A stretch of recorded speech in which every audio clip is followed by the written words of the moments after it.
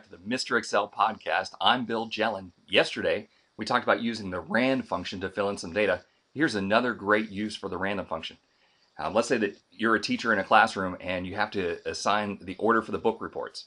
Um, the poor kids are named Adam, Alex, Andrew. They have to go first all the time if you do it alphabetically.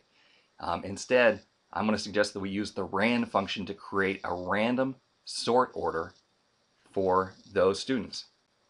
So select a blank column next to your entire range of students, type in the RAND function, control enter to enter that function everywhere, and you see that we now have a random number assigned to each student.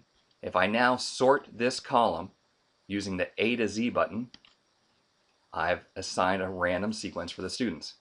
Now the one gotcha is that Excel did the sort and then recalculated the RAND, and so some sharp student might say, hey, wait a second, Athena had the lowest number, not Brandon. Well, Brandon did have the lowest number before the sort.